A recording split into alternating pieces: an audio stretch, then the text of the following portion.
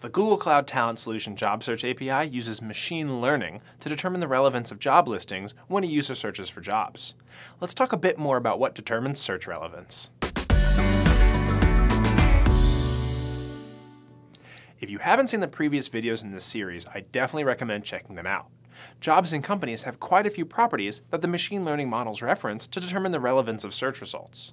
You can influence that relevance significantly by providing more information or using things like custom ranking and featured jobs.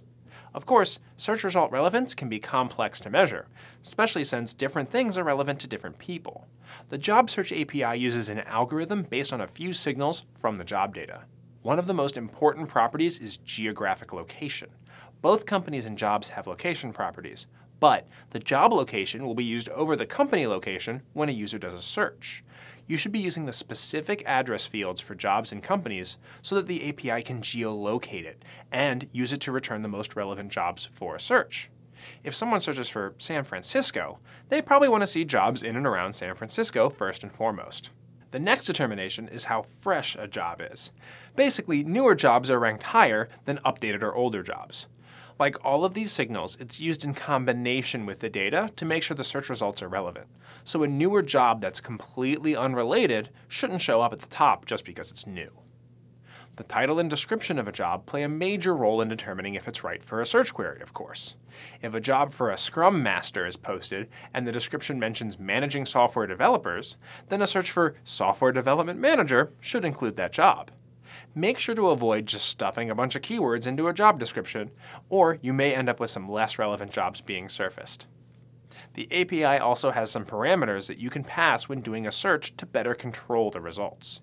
Keyword Match lets you enable or disable if the search should look for keywords beyond the regular ML-driven search results. Broadening will widen the search scope for the given parameters, allowing you to get more results for a search. Diversification level lets you choose if similar jobs should appear near each other in search results or if you should only display the most relevant one. Check out the earlier best practices video to see some more details on these. There's also a lot of features of the API to consider when searching, such as any filters of type like employment or distance from a location. Using the commute search options lets you filter by how long it would take to travel to and from the job. Using featured jobs lets you promote individual jobs, so they could appear in their own promoted section. You can even enable custom ranking to manually influence search results based on your different custom fields. With all of these factors in play, the API has a lot of considerations when determining which jobs are most relevant to a search.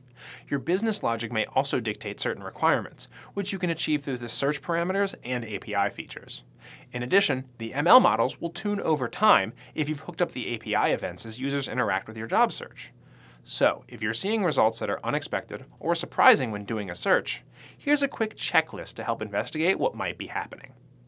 First up, if a job isn't showing up when you think it should be, make sure to check the details. With all the factors we just mentioned, it's important to double check the title, description, location, and any of the filters that may be on the search that might exclude it.